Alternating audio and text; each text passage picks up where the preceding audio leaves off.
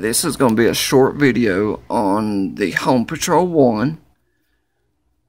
Um, it's kind of my impression, my take of it. I've had it now for about four years, I guess. It's a awesome scanner. It does a excellent job at decoding P25. Right now I'm currently listening to the STAR system in Virginia. There's a lot of agencies on that system. My antenna, I guess, is up about 40 foot. It's on top of a um, 30 foot tower with a, I got a little 10 foot piece of pipe on top of the tower. I'm using the Scantenna ST2. It's the the best antenna that I've found for my particular area that does a does about the best job. I've you know used other disc cones and just other other things, but the Scantenna does the absolute best job. I do have a mast mounted preamp. So the cable comes here, runs out and goes into the preamp at the back of my desk and then runs out. I do use a very large cable. I'm using what's called Heliax and it's a half inch cable. It's um you have to have the best cable. You can't have um, this is not Heliax. This is just a simple RG6 jumper that goes from the scanner to the um, the preamp, and then from the preamp it goes from there to the Heliax. I'll see if I can get you a, show you a picture of that. This is the Heliax. You'll see it comes up, runs, goes into the preamp. It's a ginormous cable, but it's um, quite expensive. I got that at Hamfest. I got a big roll of it for a good price. Some of the features of the Home Patrol I wanted to show you. This is the extreme model.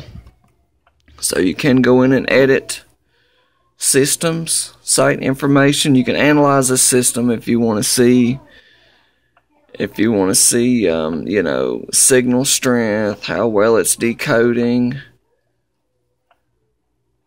It'll show you the signal. If you're working on an antenna, this is great because you can make modifications, little tweaks, move your antenna up and down, turn it, whatever, and it'll show you the effects of what you did just did right here on the screen. This is the signal. This is the quality of the decode, and this is if there's any activity. This is this will go up that says there's actually activity apparently on that particular site. It'll do an LCN monitor if you have an EDACS system. You can do an activity log. It'll do a ton of different things. One thing I wanted to show you is editing a system. The Home Patrol is set for 30 miles. I know you can go in and change certain other things and change it from a circle to a rectangle. You know, if you need a particular tower. The easiest way that I've found is to go in and edit the particular site that you want to listen to.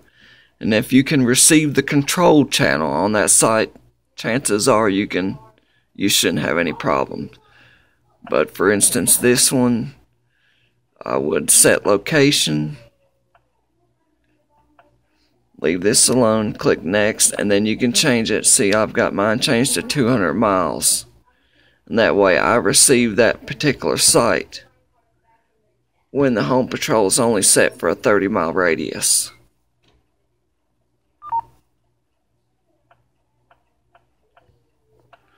The home patrol does an excellent job. I had a 996 XT.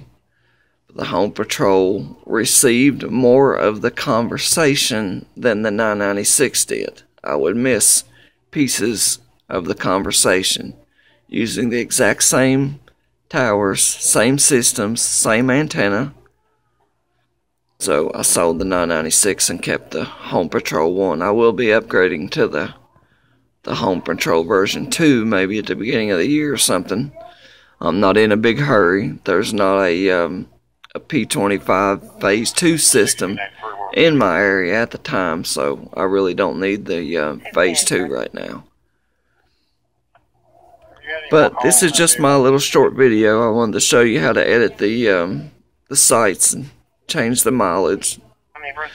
Of course, you you can't edit it in the Home Patrol unless you have the Extreme model, because edit all this stuff will be blacked out. It'll be grayed out. But you can edit it in the software in Sentinel. You can edit particular systems and change the mileage.